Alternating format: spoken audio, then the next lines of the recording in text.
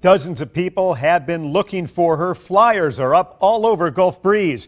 But tonight, still no sign of a missing teen. Okay, but you can detain her. You can hold her. Samantha Graber works the phone, hoping to hear anything that might help her find her missing 16-year-old daughter. Sophia Best disappeared Saturday afternoon. Foul play is not suspected, but that's little consolation. Possibly with her being on the run now and us not knowing where she is, someone could have, she's very vulnerable to being taken or being manipulated and somebody saying, oh, I'll help you out. She's 16. You know, people say just a runaway.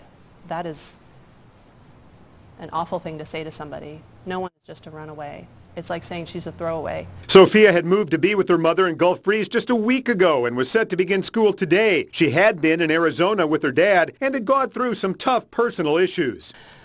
At first I was ashamed because I thought, I don't want people to know. I don't want people to know my business.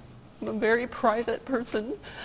But I thought, I have to do this for her. I have to find her. And as soon as I decided that, it was just this overwhelming strength came over me. 75 volunteers have been canvassing Gulf Breeze. These flyers are everywhere in town and online. The businesses have been so overwhelmingly supportive, putting up flyers without hesitation. And I'm so thankful because I know we're going to find her that way. And we've been all over social media. People are sharing and sharing like crazy. And that has been just an overwhelming experience.